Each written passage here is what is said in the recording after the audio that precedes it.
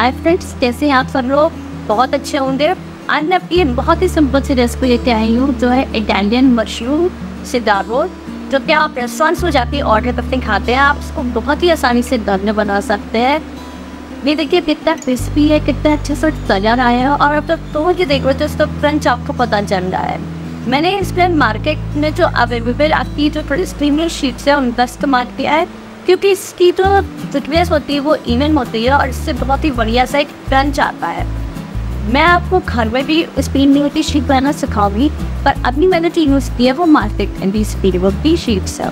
तो बिना देरी किए चलिए स्टार्ट करते हैं अपनी रेसिपी में मशरूम से डालो सबसे पहले लेना है तेल, जो कि एक चौथाई कप। उसमें डालूँगी एक चम्मच बारीक कटा हुआ लहसुन बारीक कटी हुई अदरक एक चम्मच और बारीक कटा हुआ हरा मिर्चा, आधा चम्मच। और इन तीनों को अच्छे से हमें भून लेना है।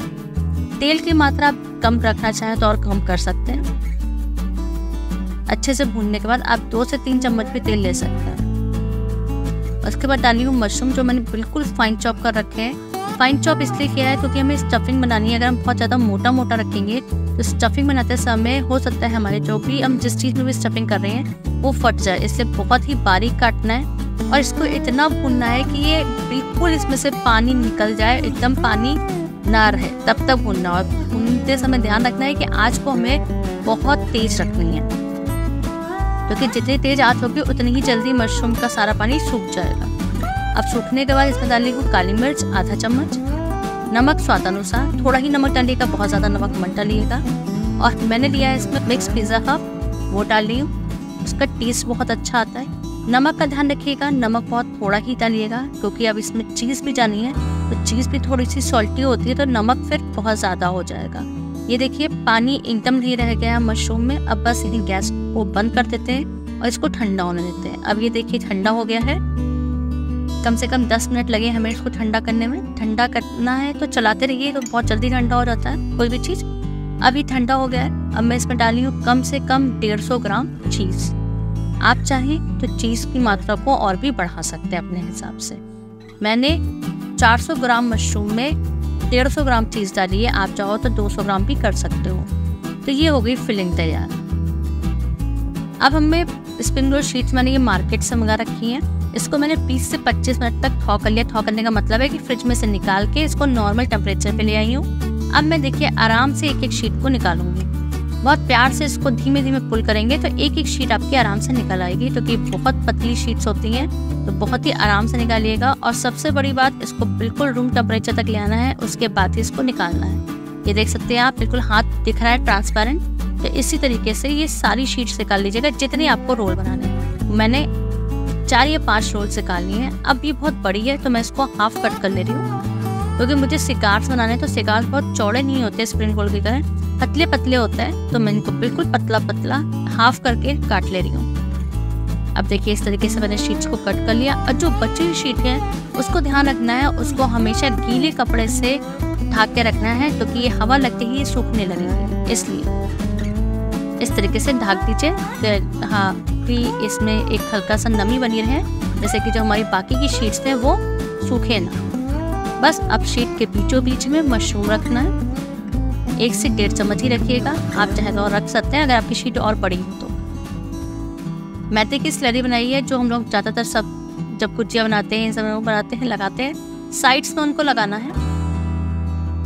चारों तरफ़ से अच्छे से। और इसको ट्रायंगल फोल्ड देना है मतलब इस तरीके से और ऐसे।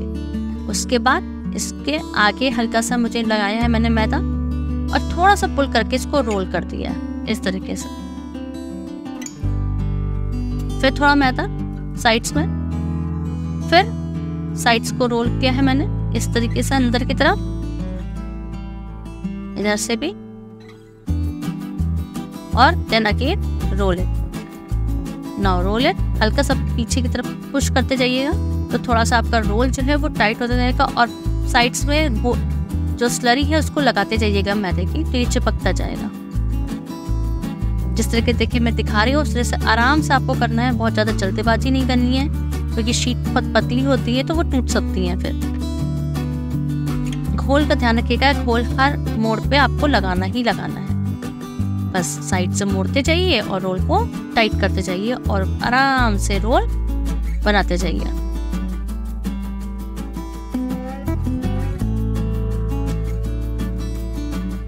बन गया पहला शिकार रोल। शिकार बन गया। आप इसी तरीके से और बना लेते हैं मैंने आठ से दस बनाए हैं। मिक्सचर में आपके कम से कम पंद्रह बनेंगे। तेल को बहुत अच्छा गर्म कर लेना है। उसके बाद इनको डालना है। ये बहुत जल्दी ही ब्राउन हो जाएँगे तो बहुत ध्यान रखना है। मुश्किल से इसको दो से तीन मिनट लगेगा और ये अच्छे से पक्के, एकदम गोल्डन गोल्डन हो जाएगा। ये देखिए, आप देख सकते हैं, जैसे ही आपने डाला, वैसे ये कलर्स का बन गया। और ये देखिए, बहुत ही अच्छे से गोल्डन गोल्डन से हमारे मशरूम सिकारोस निकल के आ गए हैं। तो बस, बनाइए।